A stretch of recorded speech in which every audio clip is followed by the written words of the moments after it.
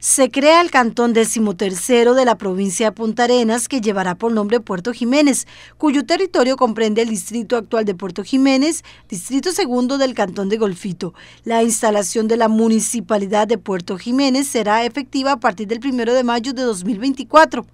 Así salió la publicación este martes en el diario La Gaceta, que convierte a Puerto Jiménez en cantón, el séptimo de la región Brunca y el 84 del país. Cabe indicar que mientras sean electos los regidores, síndicos, concejales, alcaldía y vicealcaldías, se autoriza a los eh, concejales, alcalde y vicealcaldes del Consejo Municipal de Golfito a tomar las decisiones para continuar administrando los intereses y servicios locales de Puerto Jiménez. Una vez instalada la nueva municipalidad de Puerto Jiménez, es decir, en mayo de 2024, se autoriza a la municipalidad de Golfito para que transfiera los recursos que pertenezcan al distrito de Puerto Jiménez a la nueva municipalidad tomando cada uno de los respectivos gobiernos locales las previsiones administrativas necesarias, específicamente a nivel de planificación institucional, análisis financieros y económicos que permitan una transición financiera sana, coherente y efectiva al nuevo gobierno local de Puerto Jiménez. Cabe indicar además que el exdiputado Gustavo Vieles había presentado un proyecto de ley,